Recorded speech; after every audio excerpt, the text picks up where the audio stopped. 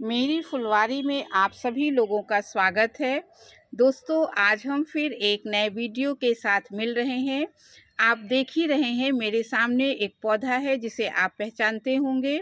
ये rain lily का पौधा है दोस्तों, ये बहुत ही अच्छा पौधा होता है और बरसात जैसा इसका नाम है रेन लिली, वैसे ये बरसात के मौसम में जैसे ही बारिश की बूंदें पड़ती हैं, वैसे ही ये खिल उठता है और आप देख सकते हैं हमारे ये कई पॉट में लगा हुआ है, वाइट कलर का बहुत ही खूबसूरत प्लांट है, आपको पत्तियाँ नज़र नहीं आएँगी, इतने अधिक इसमें फूल लगते हैं और फूल देखिए एक स्टिक के ऊपर लगते हैं, इसके अंदर से स्टिक निकलती है और उसमें बहुत ही फ्लावरिंग होती है और ये फूल भी चार पाँच दिन अच्छे से ये टिक जाता है।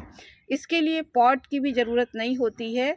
आप छोटा पॉट, बड़ा पॉट किसी भी तरीके के पॉट में आप इसे लगा सकते हैं। देखिए, एक ये नमकीन की थैली में लगा हुआ है। उसके बाद ये एक छोटे से बोतल भी में मैंने लगा के रखा है। ये बहुत दिनों से लगा है और इसमें भी चार पाँच फ्लावर लगातार लगते रहते हैं। ये कई कलर में भी आता है। देखिए, ये हमारा पिंक कलर है और इधर मैंने दिखाया वाइट कलर है और इसका एक दोस्तों येलो कलर भी आता है। वो कलर मेरे पास अभी गार्डन में है नहीं। ये दो कलर ही हैं और इसको आप एक बार अपने यहाँ नर्सरी से लेकर आएँगे तो उसके बाद इसको दोबारा ख़रीदना नहीं पड़ेगा। इसके बल्ब आपस में ही बढ़ते रहते हैं और इतने गमले को भर देते हैं कि आपको हर सीज़न में इनके बल्ब को कम करना पड़ेगा। तो इसमें अगर जैसे ही ये बरसात के जून से ही खिलना शुरू हो जाते हैं तो जून से पहले ही आप फरवरी, मार्च में इस पॉट में ज़्यादा फूल लगे। इसके लिए आप इसकी मिट्टी को उलटकर इसमें जो बड़े बड़े बल्ब हैं, ज़्यादातर फूल बड़े बल्ब में ही आते हैं तो उनको आप एक जगह लगा दीजिए, छोटे बल्ब को दूसरी जगह लगा दीजिए तो धीरे धीरे इसमें जो फ्लावरिंग की संख्या है वो बढ़ जाएगी और मैंने भी नर्सरी से केवल चार पाँच बल्ब लेकर एक बार में आई थी और तब से मैंने अपने घर में इसमें कम से कम दस प्लांटर बना लिए हैं और हर जगह घर में लगे हुए हैं। ये जो पौधा है, बहुत ही अच्छा है, बहुत ही कम मेंटेनेंस माँगता है।